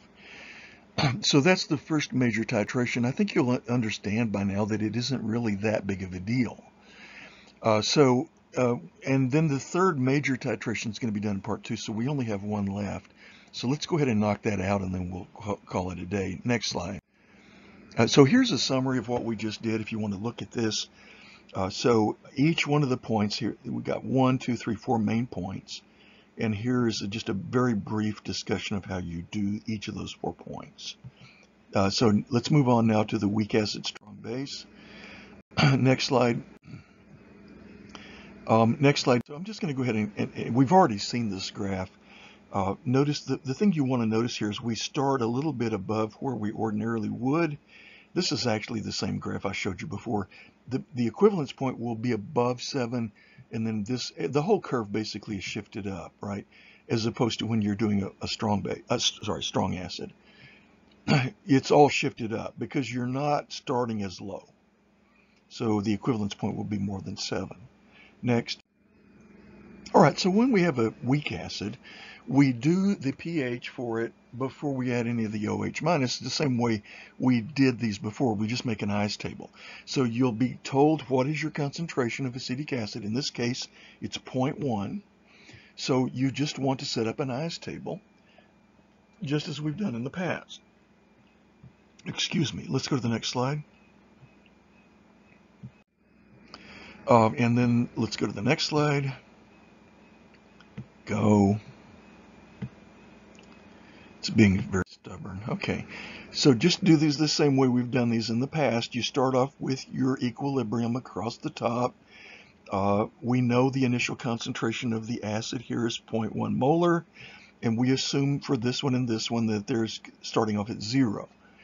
Uh, so uh, minus x here, plus x on these two, and you wind up with Ka, which in this case, because this is acetic acid, what's Ka for acetic acid?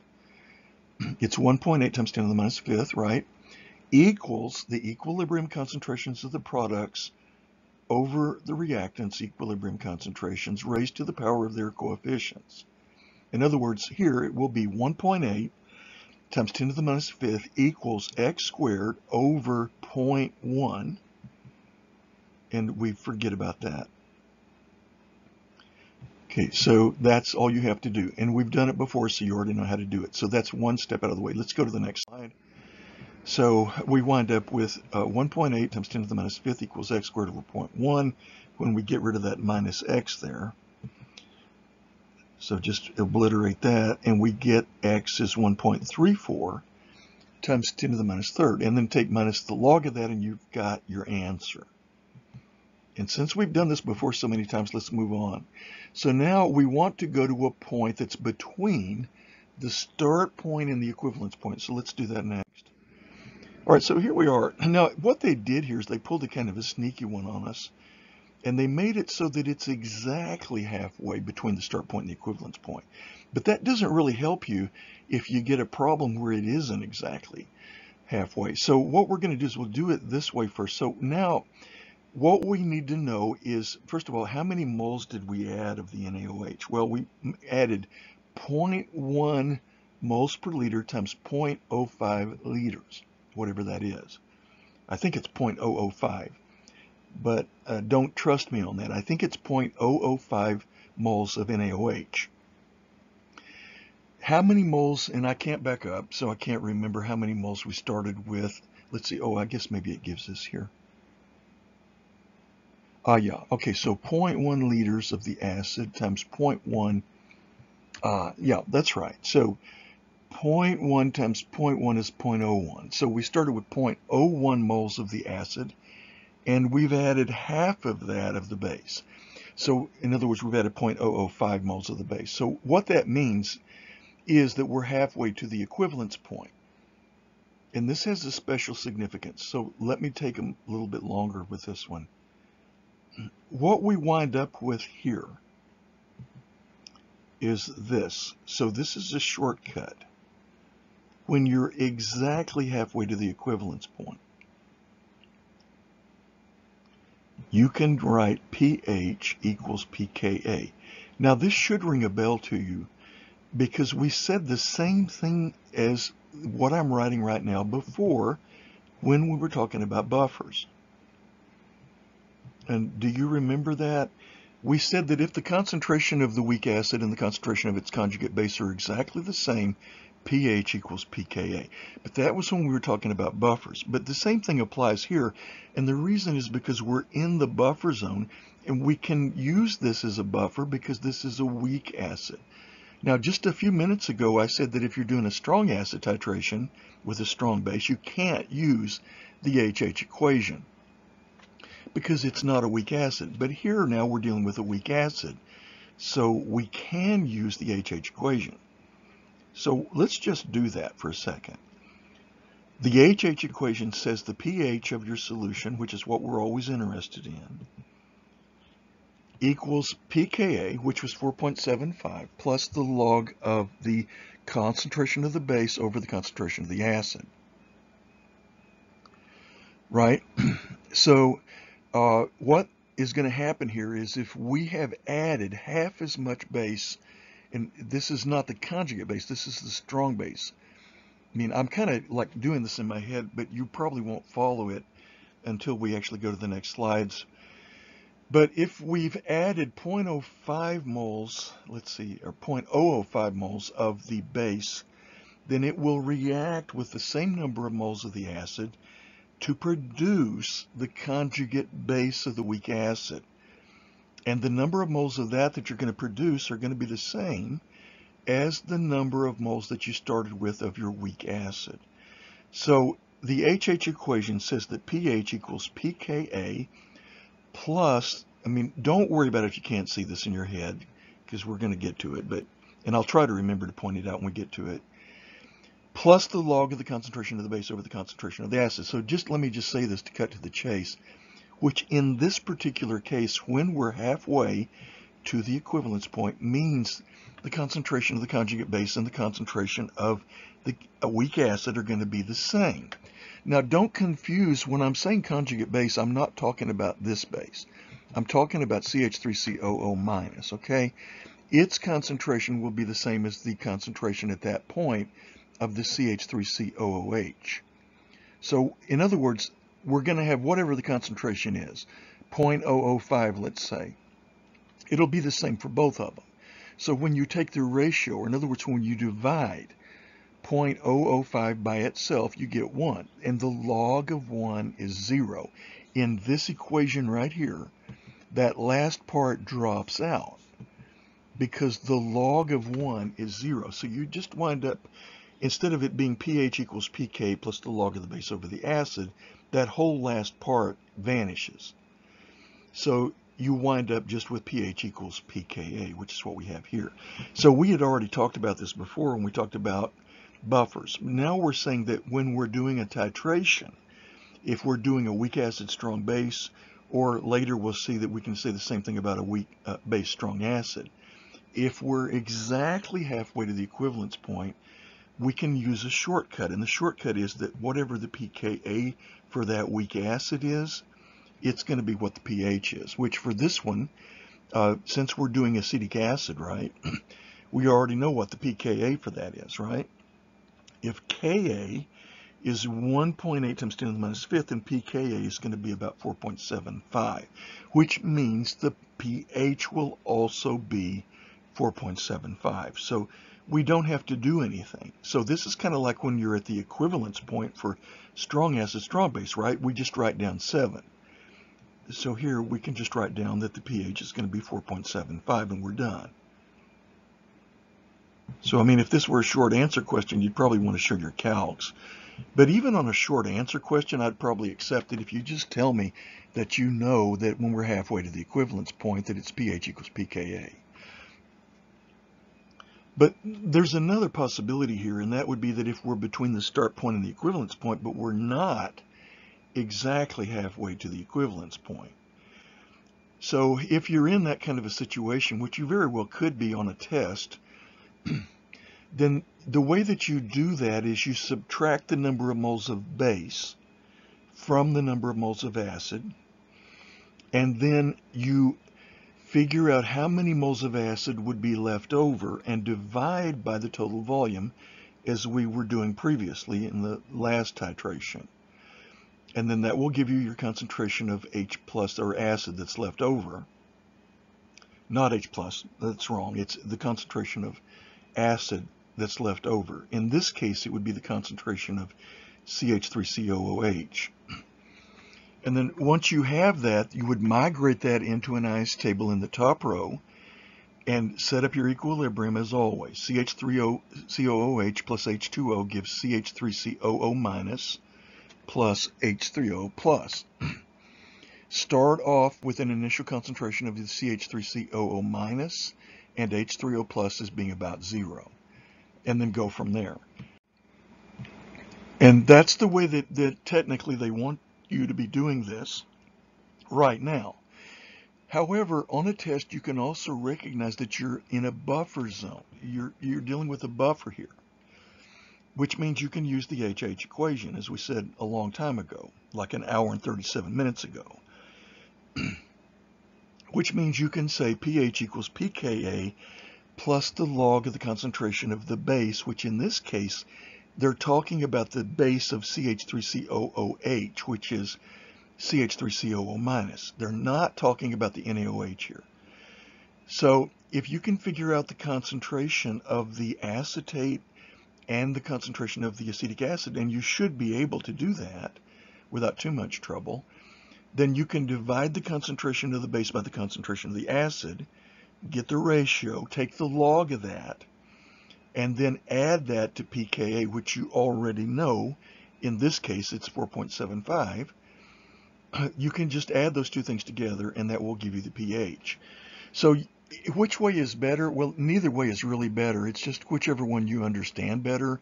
Or, I mean, I don't think really either one of them is even particularly faster than the other one. So uh, the answer is you can use either one, and, and I have absolutely no preference. So in this case, what happened was that when we added uh, plus the log of the concentration of the base over the acid, that wound up being zero for this particular example because we were exactly halfway to the equivalence point. So let's go ahead and go to the next slide and look at this in more detail. Uh, uh, let's go to the next slide here. Next. Next. Uh, so here's what I was talking about before. I'll just stop here on this slide for a moment and point this out. So since we started off with 0.01 moles of the acid and we've reacted exactly half of those, we have 0.005 moles left, which is what we said. And in the process of uh, eating up the 0.005 moles of the base here, we actually ended up producing 0.005 moles of the conjugate base, right? So that's what I've been saying here is if we take this constant, well, we would actually have to divide these. These are numbers of moles, right? So let's let's do this together. What's our total volume here? Uh, we have 50 milliliters here that we added of the base, and we started with 100 milliliters of the acid. So tell me, how many milliliters would we have total? If we add this and this, what are we going to have? 150 uh, milliliters, right? Or 0.15 liters. So uh, what we could do is we could divide both of these values right here, this one and this one by 0.15 liters and get concentrations. But they're, I mean, obviously they're going to be the same. But that's what you would have to do to do this, like, you know, to be exactly right. Uh, and then you would have, so you'd have 0.15 liters here and then the same thing here. Uh, so, but when you do that, you're going to have the same number for both of these, for this one and for this one over here, you're going to have the same number. So when you divide the concentration of the base by the concentration of the acid, you're dividing the same number by the same number. And when you divide the same number by itself, you get 1. And when you take the log of 1, you get 0. Okay, so hopefully this, I mean, if this doesn't make sense to you, it will. This isn't really that bad. The, a lot of this stuff is just getting used to this new nomenclature getting used to using ICE tables, and then getting used to using these new tables that we just started this chapter called stoichiometric tables. Okay, anyway, let's go ahead and knock this out and finish this. Next slide. Uh, look at this if you want to. I'm going to go to the next slide. Uh, okay, so here's what they actually got when they did the division of the number of moles here of the acid and then here of the base. And notice the numbers are the same for both of them, right? So both of these are the same. Uh, when you divide them by this total volume here for both of them, you get the same number for both. so for the weak acid here and also its conjugate base here, you get the same value both for the number of moles and for the concentrations. The concentrations, the numbers are 0.033 molar for both of them. So to use the HH equation, you would divide 0.033 by itself and get 1 and take the log of 1, which is 0. So that whole term would vanish and you get pH equals pKa, right? Okay, so let's go to the next slide. Um, if you do it this way, and that's perfectly fine, you wind up with 0.033. And this number, remember, we just saw where that came from, right? It came from that previous slide. Uh, and then that's we're just going to mark out that minus x there, and we're going to mark out the plus x here, and we're going to get the same thing. Uh, so Ka is going to equal 0.033x over 0.033, which is just would that would reduce to x equals uh, Ka, which is 4.75. Wait, let me hold on for one second. Let me make sure I said that right. Okay, so that's right. So let's go to the slide. So x is going to be Ka, which is one, uh, maybe I said 4.7. I'm sorry. If I said, I can't remember if I said 4.75 because I was thinking ahead. Uh, or if I said 1.8 times 10 to the minus fifth, I think I might have said 4.75. But anyway, x is going to equal Ka, which is going to be 1.8 times 10 to the minus fifth. Uh, and if you look at the chart, you'll see that x, if you read up the chart, it stands for uh, the concentration of H3O plus, right? So if we take minus the log of this 1.8 times 10 to the minus fifth, we get the pH, which is 4.75, which I think I mistakenly said that instead of 1.8 times 10 to the minus fifth. All right, so anyway, uh, so the thing is, is like you can use the table on the previous slide for any point between the start point and the equivalence point. Whereas you can only use this little shortcut formula if it's exactly halfway between the start point and the equivalence point. So just be careful with this. And also, one other thing that I need to say here before we move on, and I think we're basically done here, uh, is that they're not going to tell you usually, anyway, like almost never are they going to tell you, hey, you're halfway to the equivalence point. What you'll have to do is you'll have to realize that as you do the problem. So like if you find out, like let's say you figure out you've got 0.03 moles of added base and you start at 0.06 moles of the acid, your little light bulb has to come on in your brain and you have to say, ah, I'm halfway to the equivalence point. Okay, and then once you realize that, then if you want, you can use your shortcut here, which is just pH equals pKa. So as long as you know what Ka is for that particular acid, and usually it's given to you, uh, then you can just uh, cut to the chase and do pH equals pKa. Now, if you don't understand this even now, uh, and you go through it a couple of times and you still don't understand it, then just email me. But I promise you that once you get the idea here of what's going on, it's not that bad. At least I hope. Um, hopefully it's not that bad. Next slide. So uh, read this if you want to pause here uh, and read it. Go ahead. Next slide. And then just, I'm not going to spend a lot of time on this because we're at one hour and 45 minutes and we're basically finished. Uh, this is just the very last data point for the weak acid strong base titration. So this is after the equivalence point and you do this exactly the same way you did it when you were doing the same data point for the strong acid strong base. Uh, so let's just go ahead and move on to the next slide. Uh, next. All right, next slide. Next slide. Next slide. Next slide. Okay, so notice here we have now used up all the acid. So this is all gone. So let's just draw a line through it. And we've also uh, got zero moles of the OH minus left over. Uh, uh, let's see. Uh, we're at, okay. We're at the equivalence point. I, I actually kind of skipped a slide mentally, skipped a step. So we're actually at the equivalence point here. So I'm my bad. We're at the equivalence point here. So I was thinking we were after the equivalence point. So we'll have to talk about this for a few minutes. So when we're at the equivalence point, what it means is that we've added the same number of moles of base as we started with a number of moles of acid. So when we do our subtracting away to see which one runs out first, they both run out. So this one is actually the hardest one that we're going to talk about this whole video because what you have to do is realize now I haven't got anything really left here. I mean, because I used up all the acid and I used up all the base. So what am I going to do to figure out the pH here? So here's our stoichiometric table.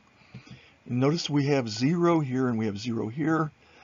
But it turns out that while we were producing, uh, or sorry, while we were using up all the OH minus and eliminating all of the CH3COOH, simultaneously with that, we were actually producing CH3COO minus. So this is where it gets a little tricky. And bear with me for a second while I stand up. Oh, so anyway, I think we can still finish in under two hours. So my bad. I thought we were at the very last step, but we weren't. We were at step three. So anyway, this is so important that I'm actually going to slow back down a little bit. So uh, we're at the point where we have added exactly the same number of moles of base as the number of moles that we started with of the acid. And so you're going to get to a situation like this on a test possibly, and you're going to say, what do I do now? Because I'm out of the acid and I'm out of the base. So you have to realize that while you were adding this base to this acid, you were producing this conjugate base, right? Do you see that? Every time you add one mole of OH minus to one mole of CH3COOH, you're producing one mole of the acetate. Now that may not sound like it's going to help very much, but it actually does. Because what you'll have to do on a test, if you get a problem at the equivalence point for a weak acid strong base titration, you'll just have to remember uh, that you have to use the only thing that you have available which is this, right? Let me actually draw it up here, which is this. So what is that? Well, it's a base, right? It's a weak base, but it's still a base. So it's the only thing you have, so you have to use it. So what you'll have to do is you'll have to think about what could happen to that acetate. So uh, in other words, what I mean is what could it react with? What can we write across the top of an ice table for our equilibrium? And so, I mean, we're, we're really running kind of long here, but I'll let you think about that for a second. I'll just stand here and physically wait while you think about this. what else could we react it with? And don't say CH3COOH because that's gone, at least for the moment. Right? And don't say OH minus because it's gone. So what else is there? And it's so important that you understand this that I'm just going to sit here for, or stand here. I just stood up actually because I'm my rear end is killing me. uh, what else is there in there that this could react with? Or is there anything else in there? So let me ask it this way. What is always present? Always. And the answer is water, right? So what could we react the acetate with? There's only one thing available, and that's water. so we haven't talked about this yet. This is in part two of the video, but when we react a weak base with water, well, we did actually talk about this before. It's called the KB expression, right? So let me say that again. When you react a weak base with water, you get a KB expression. We did talk about that in chapter uh, 16. so uh, what you would have to do in this case, even though we haven't talked about this yet, is you'd have to say, okay, uh, what I need to do is I need to write my equilibrium across the top of an ice table and then in the far top left square or cell, I need to put the concentration of my uh, CH3COO minus. So before we do that though, uh, we'll come back to that in a moment. What equation or equilibrium are you going to write across the top now of your ice table? In other words, we're going to take this value and convert it to a concentration, and then we're going to move it to our equilibrium or ice table, right? And we need to have that in concentrations, right? So we'll have to have some kind of an equilibrium written across the top here. And then we'll put our uh, initial and then our change and then our equilibrium. and this one right here is going to be the CH3COO minus this time. So whatever we get here when we do this uh, to get that converted over to a concentration, that's going to go here. But before we do that, what's the equilibrium? Well, we kind of just said it, right? It's going to be CH3, and I'll actually take the time to write this out because it's so important. Again, this is the hardest step in these titrations. Really, it's the hardest step in all of them because you have to think a lot. so CH3COO minus is what I'm going to write here. And what's the only thing that I can react it with? Water, right? So the next column is just going to be water. Let me try to get that minus sign in. Okay, and then water. We're adding it plus water. And I'm going to stop for another few seconds and let you figure out what that's going to produce. Okay, so that's supposed to be water, and I'm trying to not take up very much room. It's supposed to be H2O. And then let's just, and then we need one more line here. And then let's just put a line through this one because we don't care about the water because it's a pure liquid. And then over on the right hand side, let's pretend you've got a double-headed arrow right there in the middle. And then over here, what are we going to have? And that's what I'd like to stop now and let you think about for a moment. So you tell me what I'm going to get when I when I react CH3COO minus plus H2O. So what is the CH3COO minus going to do to the H2O? So tell me what to write over here in this cell right here and this cell right here. And then we're going to wrap up this. As soon as we get through this, we're going to be basically finished. Okay, so the answer is in this cell right here, we're going to write what we get when the CH3COO minus reacts with water, which is going to be what? CH3COOH. It's going to pluck a proton off the water and leave the water as what? OH minus. Okay, so again, you may see this and you may not see this.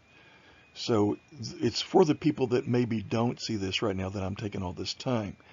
And then I'm not going to write this out. This is just gonna, I'm just going to write AA for acetic acid. CH3COOH. In other words, this is going to pluck a proton off the water and leave the water as OH minus. Okay, now, coming back over here, what do we write in this cell? We write the number of moles that we have left over, but it's got to be divided by the total volume in order to get it to a molarity.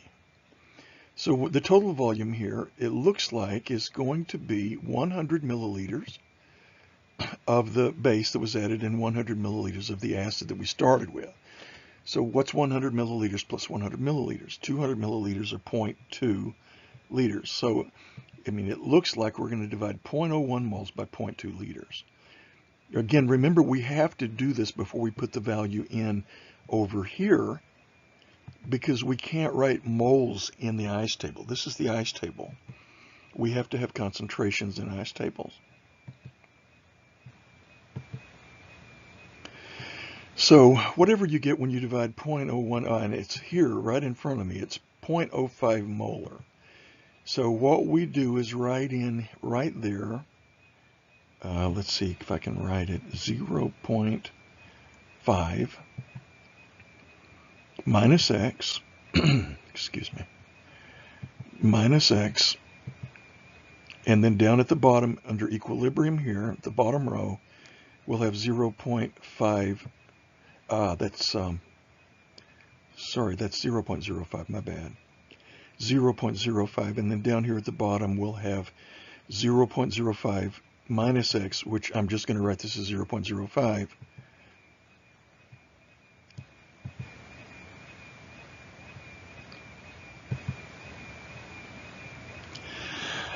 Right, and then over here, we're going to assume that these both start at zero because there wasn't any of this stuff before. Now, I realize that we had the OH before, so this can get a little confusing because you're going to say, wait a minute, we, I thought we added OH minus over here. Yeah, yeah, we did. But then we used, so it is confusing. So we used it all up. So now what we're going to do is start to produce it again, right? So anyway, uh, plus X here, I'm not going to write out the rest of this, but plus X, and then the OH minus will also be plus X, and you'll wind up at the bottom down here for both of these with X. And the uh, K, this is another point that you need to be careful with because what we just wrote across the top here is no longer a Ka expression, it's a Kb expression.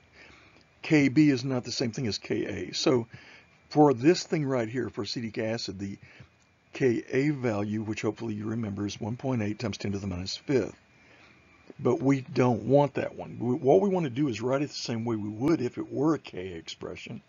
We're going to wind up with x times x over 0.05 equals K, but it's going to be Kb this time. And Kb, uh, if Ka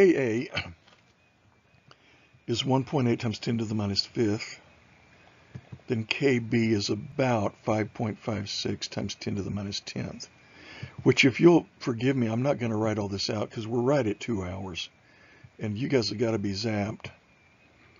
Uh, but just it's times 10 to the minus 10th, okay?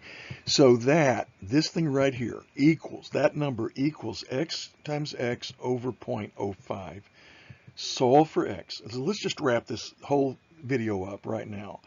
Solve for x look at your chart, see what X stands for, um, and it stands for OH minus concentration. So whatever you get for your X, uh, take minus the log of that, and what will that give you? It will give you the POH. And then whatever your POH is, you subtract from 14 to get the pH. And boom, you're done with this step. And then there's one more step here, and I'm just going to go ahead and wrap this up because it's too long.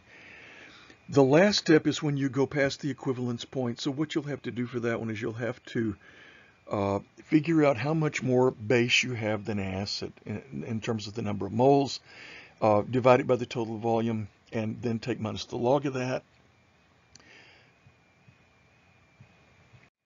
And that will give you the POH again, and subtract it from 14 and you'll be done. So actually, I'm not even going to go through the rest of these slides. There's a whole bunch more slides in here I didn't intend to go through them all. Uh, I was only going to go through till we got to the part where it starts the third main titration, which is weak base, strong acid. So I'm not skipping, like right now I'm showing that I'm on slide 98 and I'm showing there were 164 slides, but a lot of the one, like everything after about slide 100 will be done in part two. So don't worry because you're not missing anything. So let's wrap this up. So I'll see you in part two of chapter 17a.